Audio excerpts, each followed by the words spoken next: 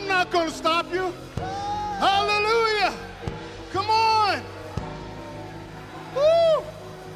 I'm talking about somebody that came from somewhere.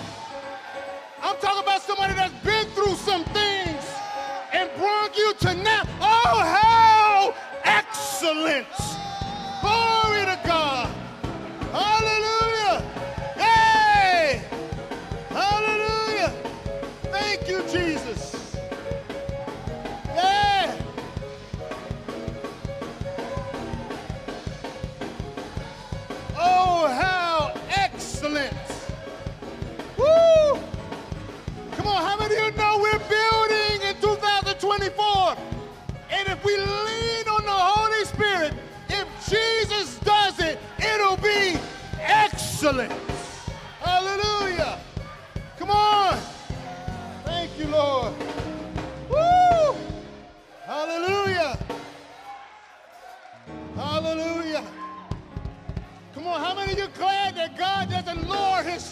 For us?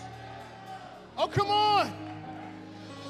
He's growing us up to be an excellent wife. Hallelujah. He's not lowering his standard. He's bringing us up to it. Oh, how excellent. Glory to God. Hallelujah. Oh, hallelujah. Jesus. Hallelujah. Y'all gonna let me preach this message this morning? Woo! Jesus. Hallelujah. Hallelujah. Father, I thank you this morning. I thank you for who you are, oh God. You are the standard of excellence, oh God. You are a perfect Savior, oh God. Thank you for it right now, Lord. I ask you in the name of Jesus, let your excellence stand up inside of me right now in the name of Jesus. Let it be you and none of me, oh God, in Jesus' mighty name. I must decrease that you may increase now in Jesus' mighty name. Let every heart, Lord, be soft towards you in this moment, Lord. Let every one of us go up another level in you today. In the name of Jesus, we pray. Amen. Hallelujah. Thank you, Jesus. Thank you, Lord. Hallelujah. Hallelujah. I got to get to this word. I got to get to the word. So I'm, I'm going ahead and I'm going to start just by, I'm, I'm, I'm coming out of 1 Peter 2, 1 through 10, and I'm using the NIV version. Amen. 1 Peter 2, 1 through 10. Now, let me give you a little bit of backdrop so we can read with understanding. Amen. This is the time that they were under King Nero, right? He was a evil king, the Bible says. Uh, probably one of the most evils in the Bible, right? Christians at this time were being persecuted, exiled, just for believing in Jesus. Amen. So 1 Peter 2, verse 1 says this Therefore, rid yourselves of all malice and deceit, hypocrisy, envy, and slander of every kind. Like newborn babies, crave pure spiritual milk, so that by it you may grow up in your salvation. Somebody say, grow up. Now that you have tasted, somebody say, tasted, that the Lord is good. Verse 4 As you come to him, the living stone rejected by humans, but chosen, chosen by God as precious to him. Somebody say, precious. You also, like living stones, are being built. Somebody say, built into a spiritual house to be a holy priesthood, offering spiritual sacrifices acceptable to God through Jesus Christ. For the scriptures, for the scripture says, See, I lay a stone in Zion, a chosen and precious cornerstone, and the one who trusts in him will never be put to shame. Now, you who believe, the stone is precious. But to those who do not believe, the stone the builder the builders rejected has become the cornerstone and a stone that caused people to stumble and rock in a rock that makes them fall. They stumble because they disobey the message, which is also what they were destined for. Verse 9. Huh. But you are, somebody say, I am. But you are a chosen people, a royal priesthood, a holy nation, God's special possession. Oh, can I say that again? But you are a chosen people, a royal priesthood, a holy nation, God's special possession, that you may declare the praises of him who called you out of darkness into his wonderful light. Once you were not a people, but now you are a people of God. Once you had not received mercy, but now you have received mercy. Oh Lord, add a blessing to the hearers and doers of his word. You may be seated. This message today is entitled Set Apart Living. Set Apart Living. And I was, as I was looking at it this morning, God gave me a subtitle, which will be I'm built different. I'm built different.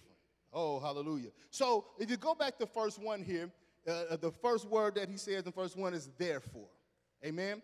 So, therefore, Pastor said, he, she says, if you see it therefore, you must find out what? What is there for. Amen. So, therefore, reaches back to what, the, what was stated uh, prior to this, uh, to what's going to be stated next. Amen. So, I'm going to go back to um, chapter 1, and I want to go to back chapter 1 to verse 13.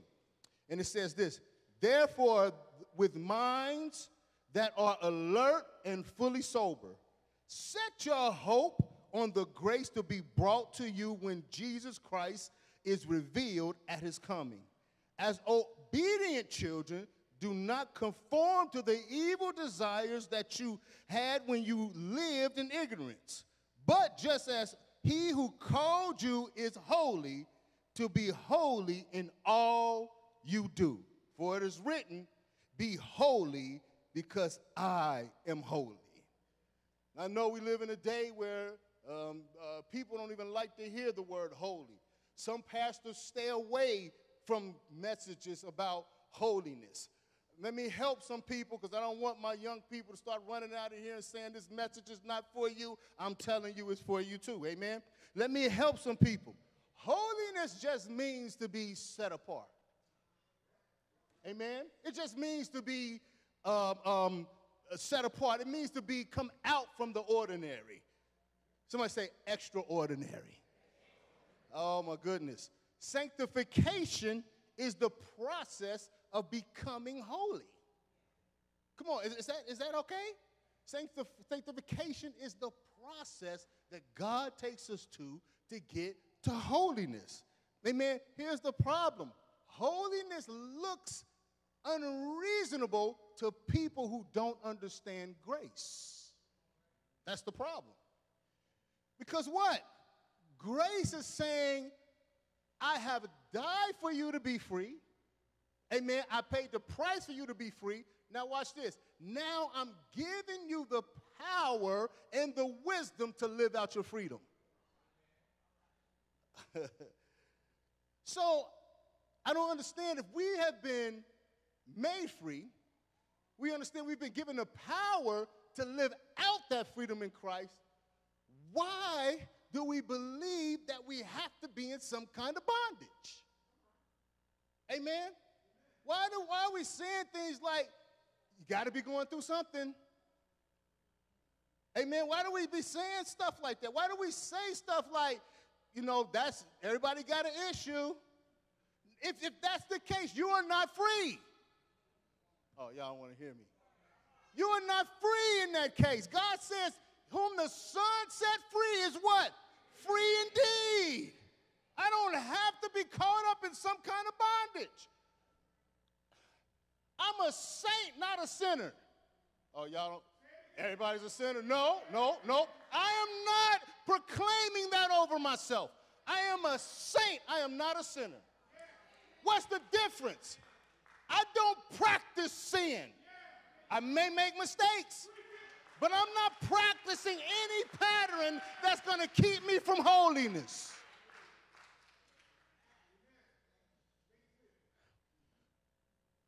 If Jesus doesn't have to repeat his death, you don't have to repeat your sin.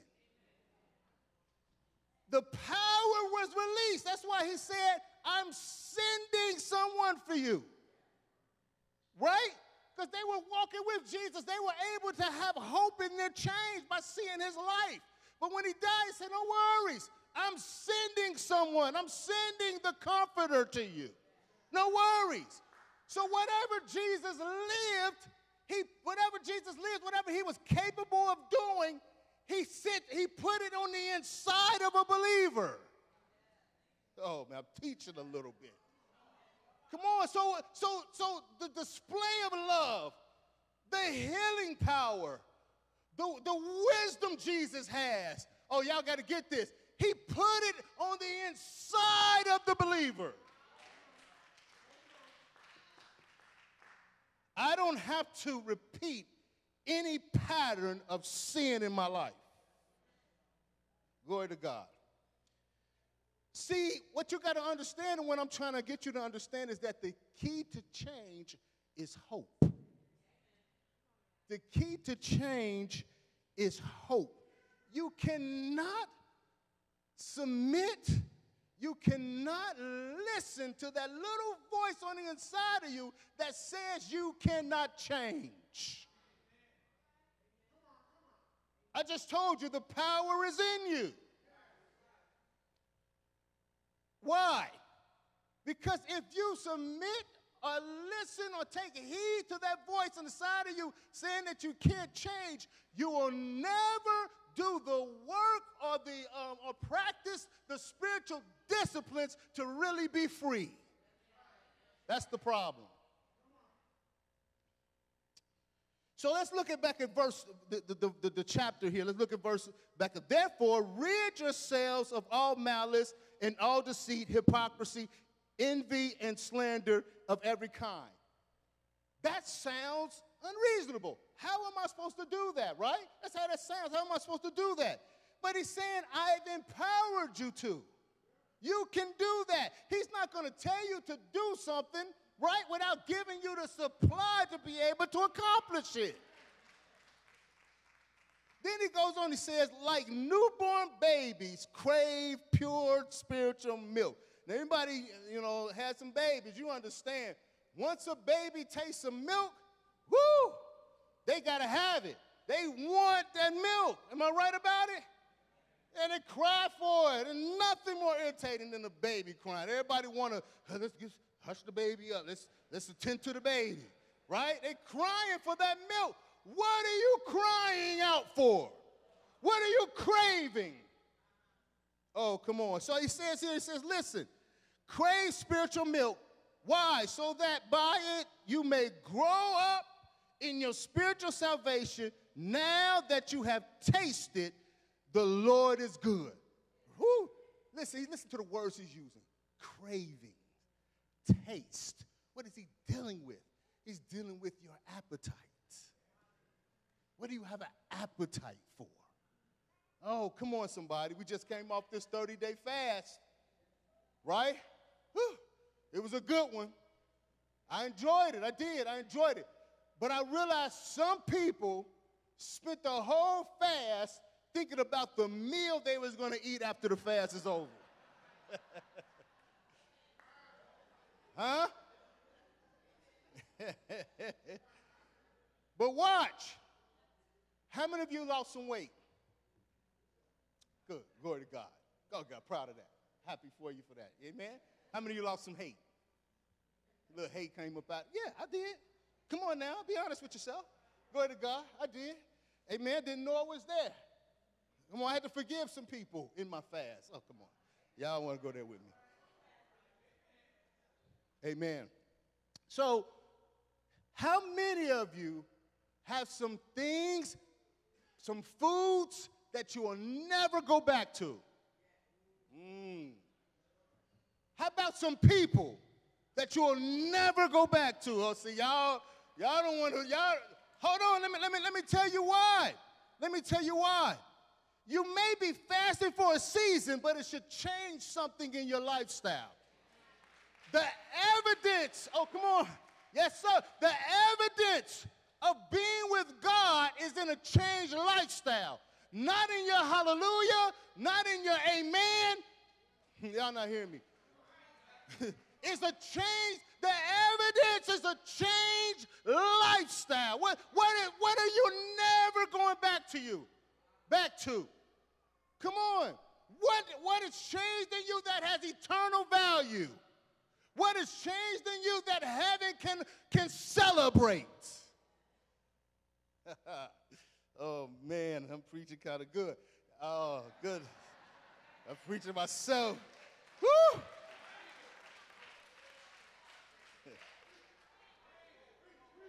See, fasting is a form, and, and, and, and it helps us to, to start learning how to be set apart. Right? You're amongst everybody, but you're making yourself different. Right? You're amongst everybody, but you can't eat what everybody's eating. I'm among you. I look like you. I'm among you. We, we, I'm at work. We might have on the same uniform, but I'm not eating the same thing you're eating. I'm not going to be in the same conversations you're in. Uh, so it's teaching us how to be set apart. But if I spend my fast, come on, Pastor said on the prayer line, don't run back to them chips. When we were when we was uh, the fast end on Sunday, she said, "Don't you run back to them chips as soon as you get off this call." Why? Because you got to realize there's a time and a season for everything. Oh my goodness! See, some of us we're bowing down in posture. We were here Friday prayer. I don't know if you was here, but oh my God, God showed up in the Friday prayer. We had the the hallelujah. Amen. Amen. They had the pads on the floor so people could come and kneel down at the altar before God. I really believe something happened in them when they kneeled down at the altar. Amen. But watch. If they left it there, oh, come on. If you kneel here at the altar and you don't change any lifestyle, it's only religion. You cannot bow to God in, um, in posture but and not bow to him in lifestyle. That's only religion. We're more than that. You were built different. Glory to God. Who Jesus. Amen. See, some of us are eating the wrong things at the wrong time, and that spoils your appetite. If you look at Jesus when he was tempted, Amen. I could I could have called this message after you fast. Amen. I, I could I, I, talked about this morning. I said let's let's turn to the book of Pastor DS. Amen. Uh, verse uh, chapter one, verse three. Right. Y'all don't have that. It's not out yet. Amen. But in the book of chapter DS, right?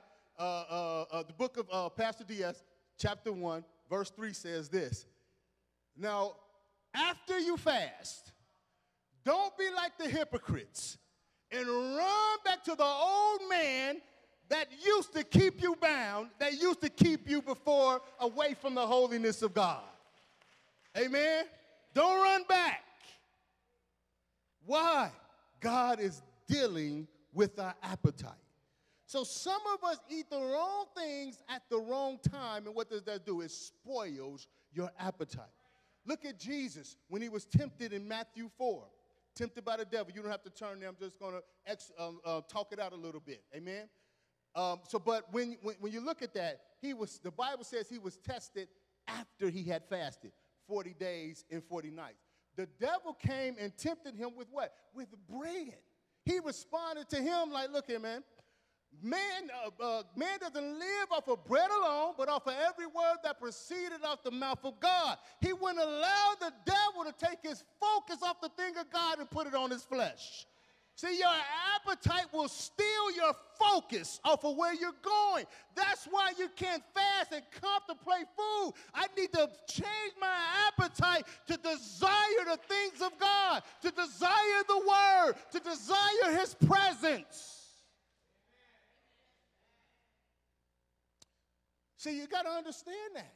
Sometimes it's not the time and it's not the season. Amen. Some of you want to date. Maybe it's not the time, maybe it's not the season. God, God says, listen, God says, listen, keep yourself until you marry. Why? Because it's not the time and it's not the season. Oh, come on. Taste and see that the Lord is good. Dealing with what? Your appetite. God is expecting us to build an appetite for Him. You got to realize this when you talk about looking back and going back that your worst enemy is your old self. The problem is, is that we're in this new relationship, but we consistently flirt with the old one. Come on, he talked about we're newborn babies. We're in a new relationship, but we want to flirt with the familiar. We want a new relationship, but we want to flirt with the comfortable. Oh, come on. You, you, you're too comfortable in what you used to eat, what you used to feed yourself. It's become too habitual for you. Amen? But the Bible says what you have to do is to come out from among them. You got to come out from the familiar, from the familiar people that take you down that road. I remember a time in my life I had to separate from my brother because every time we got together, we had to smoke a blunt. That was our connection. Let's smoke a blunt. That, that's, that's the only time we really got together. I needed to change that relationship. And so, in order to do that, I had to say, bro, I'm not smoking no more. I'm set apart. Amen. It was uncomfortable to say, but I had to do it. Let me help somebody help me this morning. Now, you don't have to if you don't want to. But I'm gonna ask somebody to come and help me. Come on, come on up. Glory to God. I like that. I like that. See, some of y'all were looking at me like, please, Pastor DS, come on up here. Huh? Okay, no worries. Good, good, good. No worries. But listen, some of y'all looking at me, oh, Pastor DS, hope you don't call on me. Oh, Lord. But y'all, y'all heard this statement before that you can't fly with the eagles and live among the chickens. Go, I had to mess with you with that. Amen. But you were comfortable in that seat, wasn't you? Yeah. Real comfortable. You chilling out. You good, right? Right? But you had to leave that comfortability to bring value to my message. Oh, y'all getting that? See, I heard Tye Tribbett say this, and some of y'all know he he sing, he sing does music, but he can preach. He can preach. I heard him say that to come up or to move forward, you must position yourself out of something else. There must be a departure from something. Amen. So you left your comfortability, and now God used you to bring value to the people. oh my goodness. Woo! Woo! Glory to God. You can sit back down. Thank you so much. So watch. Jesus left heaven in order to be king. Before coming to earth, he wasn't king. He was God, but he wasn't king. He left comfortability. Oh, he left people worshiping and praising him and saying he was great. He came out of comfortability into discomfort so that he can be crowned king. Are you willing? Are you willing to come out of, from among them, come out of those comfortable places and allow God to use you? Hallelujah. Let's read on. As you come to him, verse 4, I'm sorry, verse 4, in 1 Peter 2, verse 4. As you come to him, the living stone rejected by humans, but chosen by God and precious to him. Oh, I'm valuable. Somebody say I'm valuable. And, this is the Bible that said this. This is not the book of Pastor DS. This is actually First Peter, amen, in the, in the uh, NIV version that says, you, You are precious to him. Oh man, am I at Christ the King Church this morning? Listen, you are too valuable to be tried out. You're precious to him. Oh, come on. Listen, I may be different, but I'm valuable because I'm precious to him. Actually, watch this. Because I'm different, it makes me valuable. Because I'm precious to Him. Oh, goodness gracious. Woo, come on, where am I at? Is this Rabbit Hill Road? Is this Christ the King? I'm, I said I'm, I'm, I'm valuable. Hallelujah. How valuable are you? However valuable Jesus' death was. That's how valuable you are. Priceless. That's why your job can't pay you what you're worth. Amen. That's why you're on assignment at your job. Quit going there just to make money. Your assignment makes you valuable. Woo, glory to God. Thank you, Jesus. So this is, this is, listen, it says, you also, like living stones, are being built into a spiritual house to be whole, a holy priesthood, offering spiritual sacrifices acceptable to God through Jesus Christ. You are being built. So listen, if you go back to verse 1, verse 1 in uh, verse 1 through 3, it's talking about you as a baby. He switched it now. He's talking about you as somebody that can be built. Amen. That, that you that somebody that is um, uh, now able to go through a little more, right? To be challenged a little more because he's molding you into something. Amen.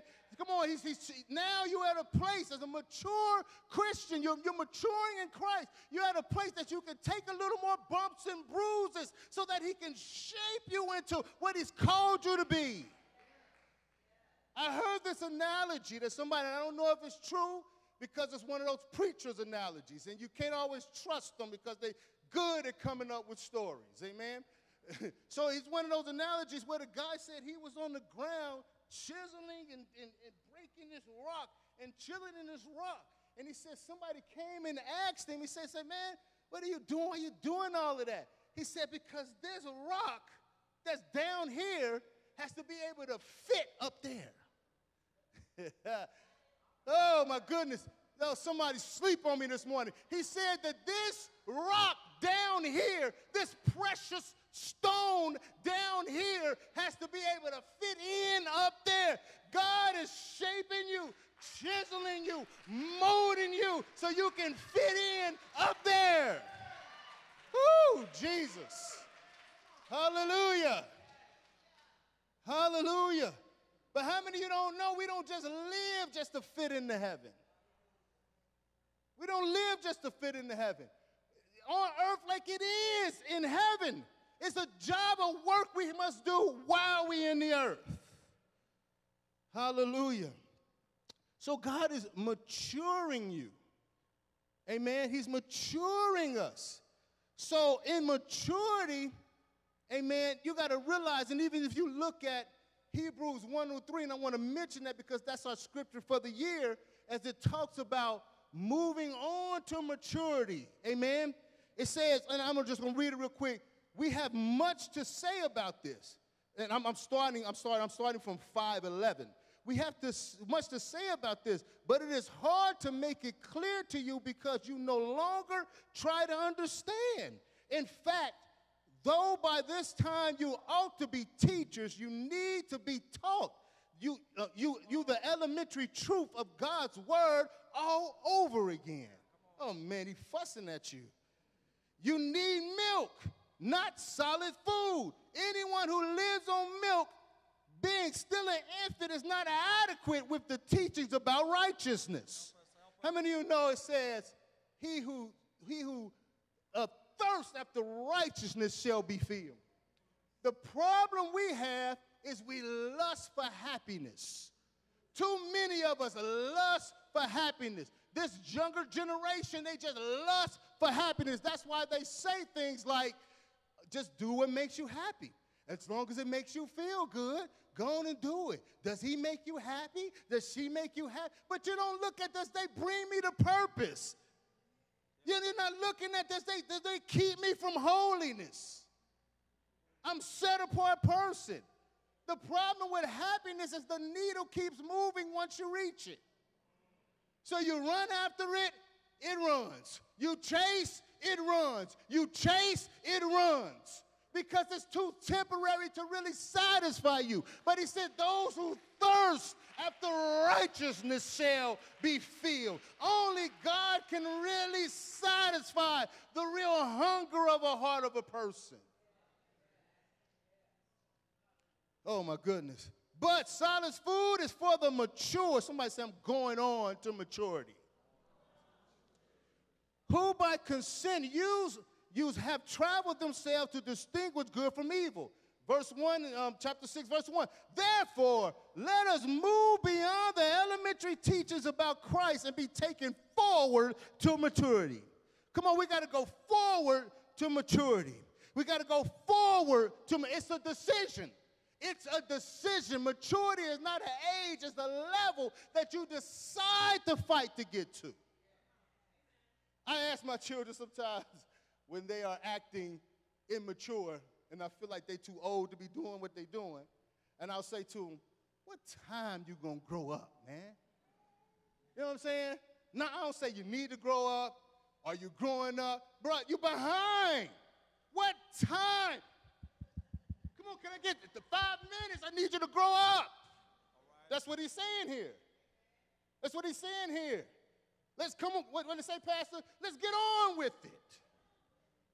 Glory to God. So, what does maturity say? Number one, maturity says you got to realize you're unfinished work. The person sitting next to you is an unfinished work, right? You can't. You you you got to be. You got to understand that. But you can never be comfortable or be satisfied with, uh, with not allowing the Holy Spirit to do the work in you. Amen. You must understand that to be truly healthy, it takes nutrients and activity. Be hearers of the word and doers of the word. You have to apply it to your life. You hear this word today, you're responsible to apply it to your life. Once you hear the truth, once you receive revelation, at that point, God Himself is holding you to living that out. Glory to God. Mature Christians pursue holiness. It's desire, it's not duty, it's desire. You got to pursue holiness. You got a desire to mature. Mature Christians take an honest look at themselves. How often do you look at yourself?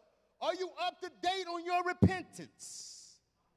How often do you look at yourself? Amen. You got to be able to say stuff like, I can't go to your Super Bowl party this year because it's just too much beer there too much alcohol, and I'm not strong enough. Yeah, come on, I'm being set apart. I don't mean to mess with your Super Bowl party, but I'm sorry. I'm being set apart. Come on. So somebody need to say, listen, I can't date you at night anymore. We're going to have to do lunch date because I know I'm weak at nighttime. I know that's a pattern for me, and I can't keep going down the same patterns that keep me from holiness. Come meet me at my lunch. If you can't, then I know you're not the one.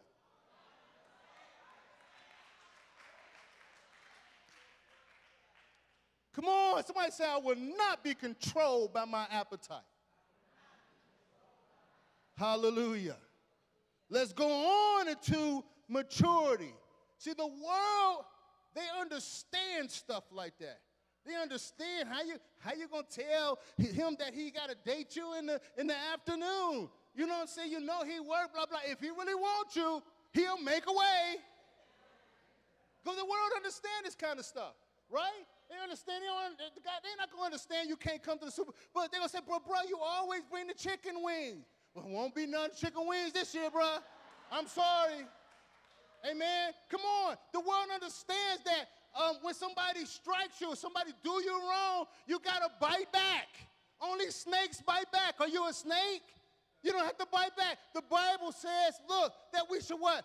Turn the other cheek. Now let me help you with that. Because turn the other cheek isn't saying that uh, you should just let somebody pound on you. No, that's not what that's saying. What is it saying? It's saying turn to the side of you that has not been hurt Oh, come on. Respond with the side of you that has not been, that has not been through something. Uh, respond with the side of you that has not been victimized. That's what that's saying. In other words, there's another side of you. There's a, a power on the inside of you that says you don't have to fall victim to your flesh. Hallelujah. Oh, Jesus. Do you desire to be set apart? Do you desire holiness? I'm not saying you're there, but when you desire it, come on, because your appetite will tell you what your focus is. If I desire it and I grow an appetite for the things of God, I automatically start moving towards it in my daily life. Jesus. Oh, my time. I'm going to give you five ways to live a set apart life, and then I'm done. Hallelujah. Number one, embrace the fact that you do not fit in. You have to have the courage to be disliked. Be strong and of good courage. You got to have the courage to be disliked. Oh, can I talk to my young, some my young people here? You have to have the courage. See, once you get so uh, older, you don't care no more. You don't care. Like what? You know, I'm a, I said what I said. Amen? But when you're young, it's a little more difficult. You got to have the courage to be disliked. I don't care if you don't like me more than I care about what God thinks of me. Number two, remind yourself what God says about you and say it out loud. Look what he says. He says, verse 9, but you are a chosen people, a royal priesthood, a holy nation, God's special possession, that you may declare the praises of him who called you out of darkness into his wonderful light. Once you were not a people, but now you are the people of God. Once you had not received mercy, now you have received mercy. Let me say something to you. Now that you know who you are, holiness demands that you live like it. You're a royal priesthood. Royal. Stop acting like a peasant. You're a royal priesthood. Come on. There's a way you should walk. There's a way you should talk. Come on. You're kings and priests and queens in here. There's a way you should operate. There's a way you should talk to people. Come on. Royalty is, is judged by the state, a king is judged by the state of its people. How do you treat your people? How do you help the people around you grow? Number three, live a fasted lifestyle. Live a fasted lifestyle. Well, what does that mean, Pastor? Number one, record be this is to be honest with yourself. Recognize the things or the patterns that keep you from holiness. Sometimes it's not necessarily sin. Sometimes it can be too much football. Sometimes it can be too much shopping. Recognize, break the pattern. Don't let the devil find you in the same place as he found you before. Don't you know algorithms in the computer are not a new thing? The devil been watching your algorithms. He's been watching what you've been doing and tempting you with it. Number four, watch what you eat. Let me go back to number three. I'm sorry. Live a fasted lifestyle. Listen to what Pastor DS does. Once a month, at least once a month, I'm going to fast. Right? Why? Because fasting shows that there's a strength in me, right, that I didn't know I had. And number two, it shows me that I can depend on God's strength to get me through. Amen? Hope.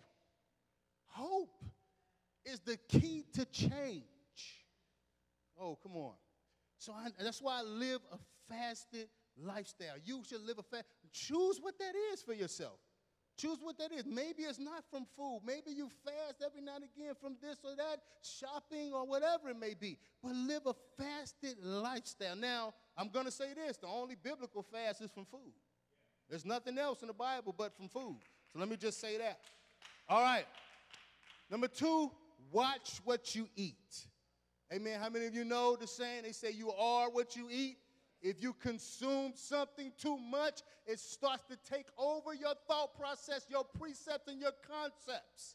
Amen. So you have to watch. You have to you have to watch things that feed your things conducive to who God says you are. Amen. Number five, seek accountability. Amen. Look at look at look for someone to hold you accountable to holiness. That mean that may means it can't be your homeboy or your homegirl. It has to be somebody who's not afraid of you. Come on, it has to be somebody that's just not trying to be cool with you or get something from you. But it has to be somebody that holds a standard in their own life. And they want to see better in you. And they want to see you live holy. Stop running from those people. Stop running from those people. Those are the people who God, come on, we are, we are a royal priesthood, a holy people.